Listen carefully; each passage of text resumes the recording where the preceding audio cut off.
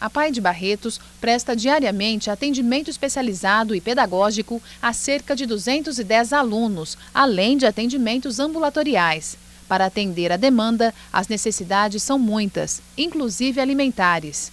Sensibilizados com este trabalho, uma turma de ciclistas se engajou na arrecadação de leites para os assistidos. É mais uma vez a ideia surgiu da turma do pedal, vamos arrecadar, vamos ajudar mais uma instituição.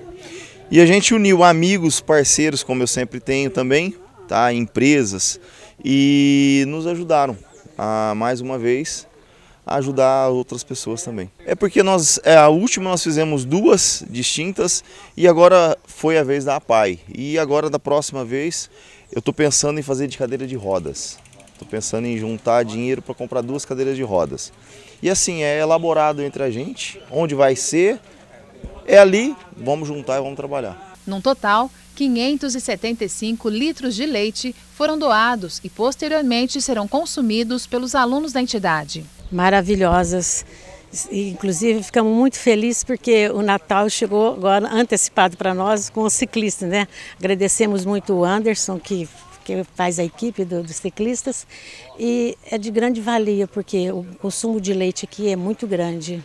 Já há três anos, a turma do pedal desenvolvem o bem-estar com a prática do ciclismo a ações de solidariedade como esta. Cerca de 91 integrantes, numa força-tarefa, fazem questão de colaborar com as entidades da cidade. E até o Papai Noel colaborou nesta ação para que o Natal fosse diferente aos alunos e assistidos da Pai Barretos. Eu acho que esse trabalho aos poucos, vai engrandecendo a cidade. É tipo formiguinha, um dá um pouco, outro dá um pouco, vai ajudando, porque nós temos muitas instituições carentes aqui, né?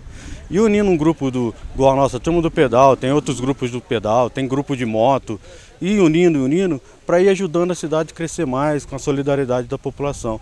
E que esse ano, ó, o Natal vai ser fabuloso para todos. Uma boa iniciativa beneficia a todos.